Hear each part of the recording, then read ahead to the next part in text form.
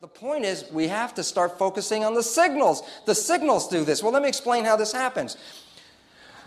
When we look at a cell nucleus, this is where the chromosomes and the DNA is.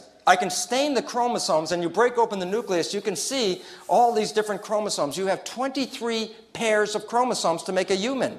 They're called pairs of chromosomes because you get 23 chromosomes from your mother, 23 chromosomes from your father, and they're matched pairs. So, in fact, even I can see that one of these is from the mother and one of these is from the father because you can color code them. Well, it's a nice, interesting experiment, but the question is this what am I staining? I'm not staining DNA. So, what's in the nucleus? And the answer is this 50% of the nucleus is DNA, and 50% is protein. And the reason why we have a problem here is this for 50 years, Everyone was so focusing on the genes that when they wanted to study the DNA, what did they do? They'd go find a nucleus from the cell, they'd break it open, expose all the chromosomes, and you know what they do? Separate the protein from the DNA and then throw away the protein.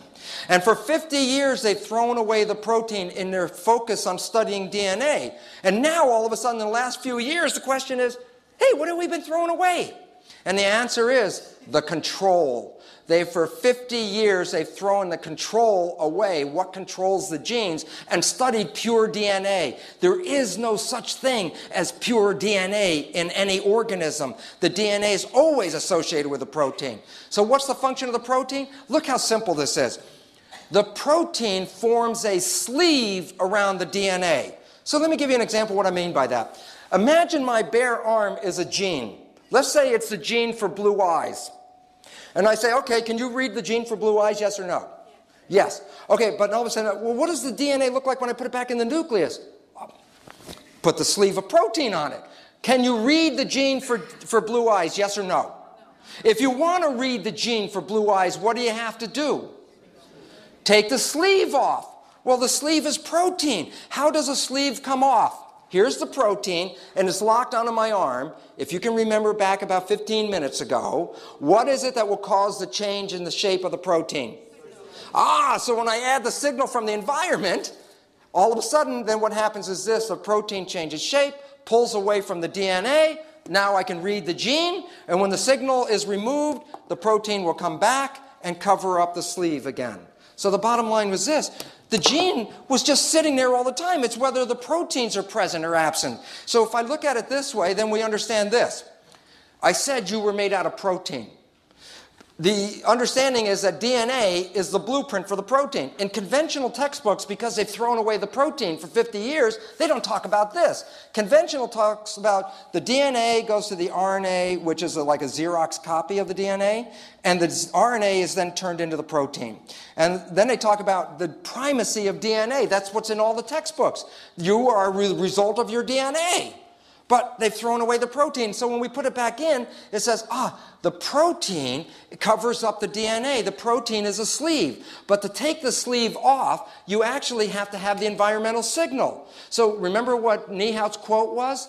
A signal from the environment activates the expression of the DNA. So the bottom line right here is this the environmental signal comes in and changes the shape of the regulatory protein, which removes the sleeve, exposes the DNA, and then I can make my proteins. So rather than the primacy of DNA, which is conventional thought, it's actually the primacy of the environment. It's the environment that selects your genes, not the genes themselves. So if I wanted to illustrate it, let's go back to our picture of how the cell worked. What I showed you was this.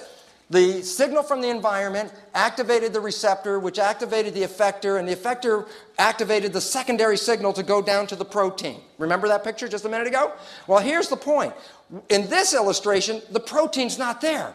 And if I need the protein because the environmental signal, I have to respond to the signal, and the protein's not there, what would I need to do if the protein's not present in the cell?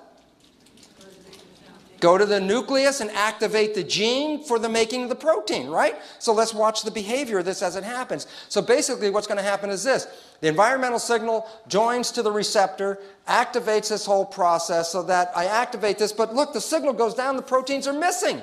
If the proteins are missing, I need the proteins to make the, the proper response, but they're not there. So what I have to do then is take this signal and go into the nucleus of the cell where the DNA is. But the DNA is covered up by a sleeve of protein. And at periodic points, at every gene, there's a control protein called a regulatory protein. And you know what happens? The signal from the environment binds to the right gene by the shape. It doesn't bind to this one, wrong shape. Binds to this one. Now, what happens when a signal binds to a protein? Changes the shape of the protein.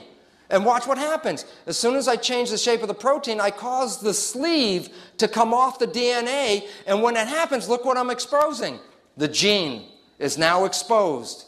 And what am I going to do with this? Well, I need to make a copy of the gene called RNA, which then goes into the cell where it's turned into the protein. So the bottom line is then I take the RNA molecule, make a copy of this DNA molecule, and then this is a blueprint of the gene and this is called RNA, messenger RNA, and this blueprint is actually used to make the protein.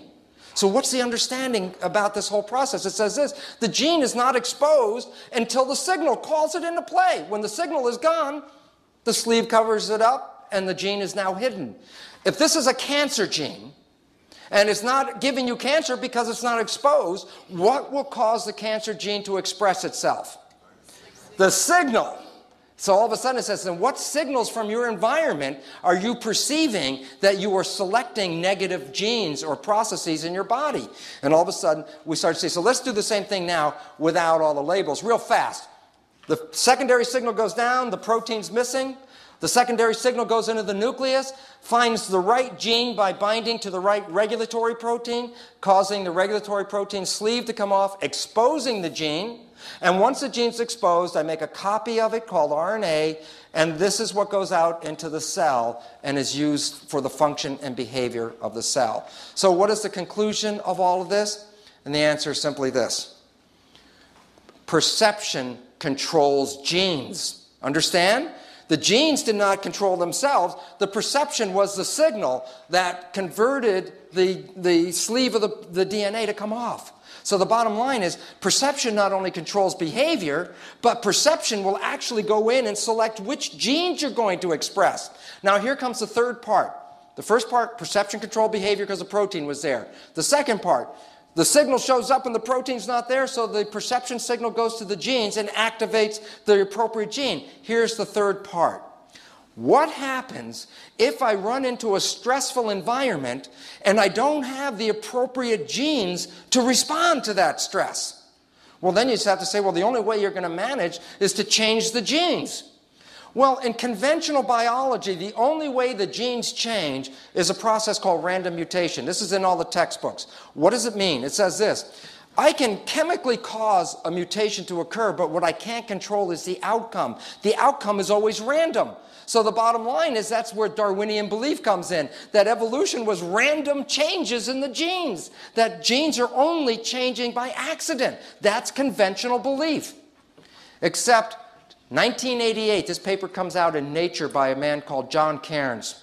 And it changes the entire foundation of biology that we've ever held for the following reason. He tells us about a new kind of mutation called an adaptive mutation. The point about this mutation that the genes are not changing randomly, but the environment is controlling the mutation so that you're always adjusting your genes to fit what you see in the environment.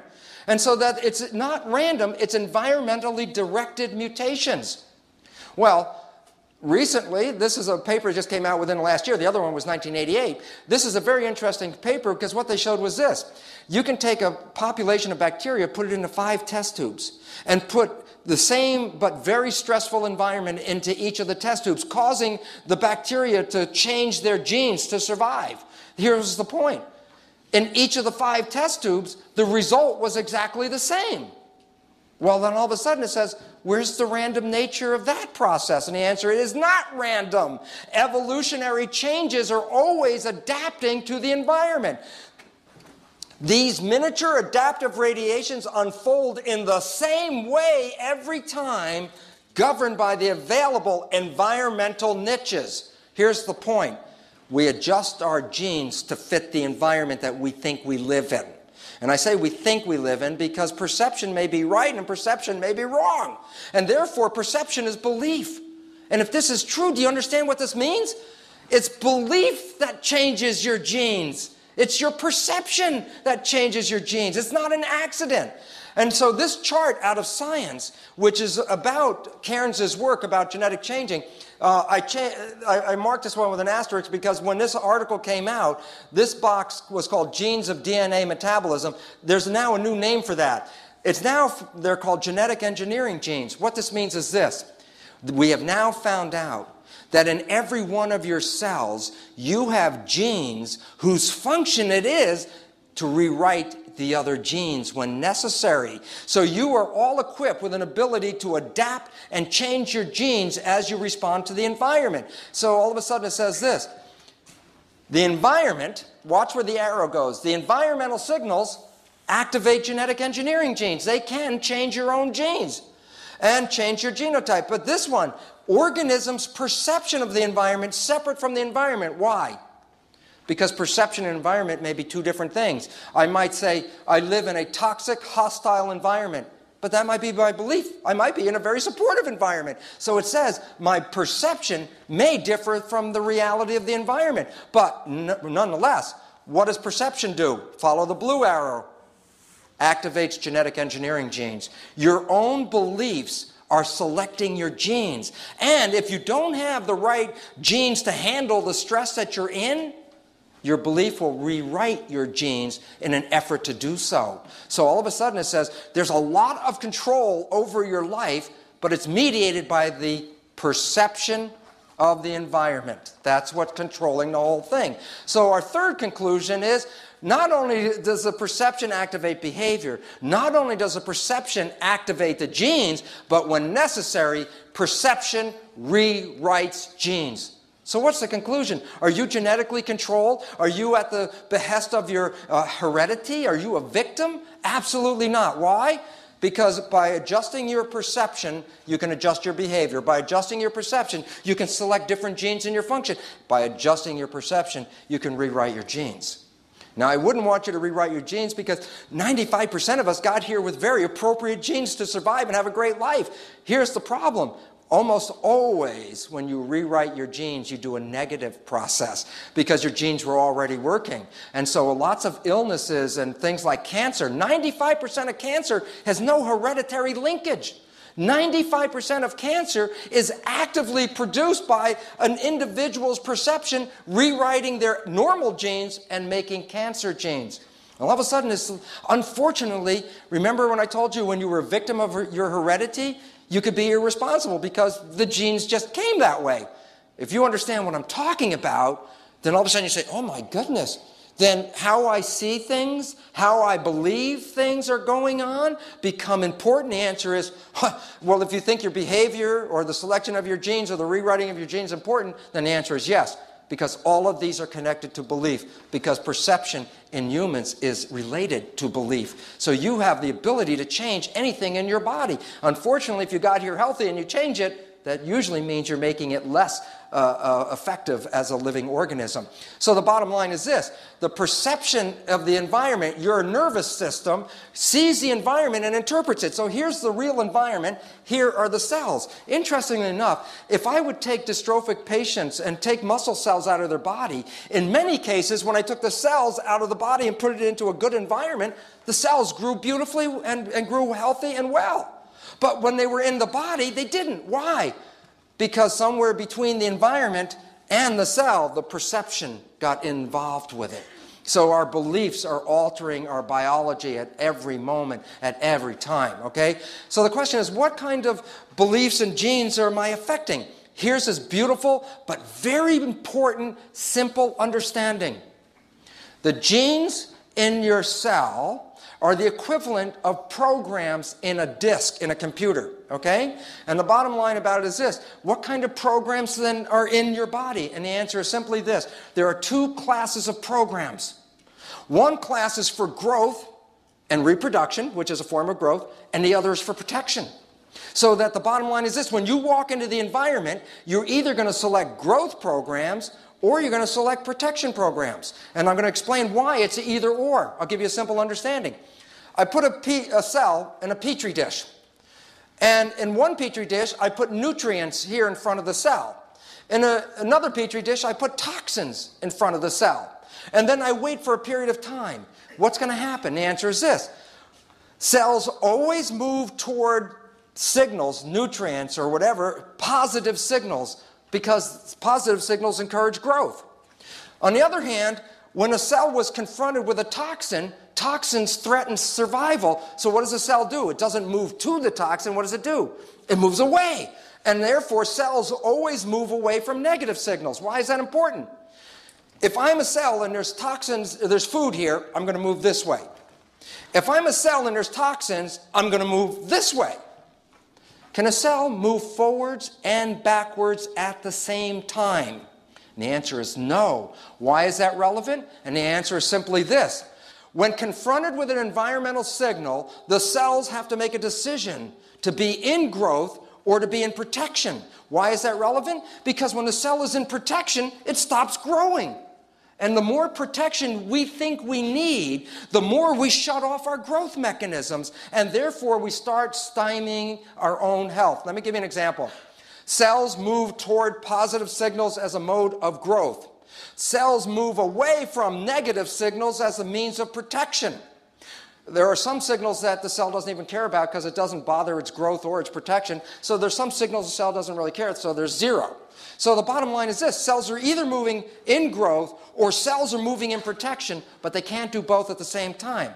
That's an individual cell, but I said you were made out of 50 to 75 trillion cells. So when I look at a human, I have a graded scale. You are either in some degree of growth or you're in some degree of protection based on the signals.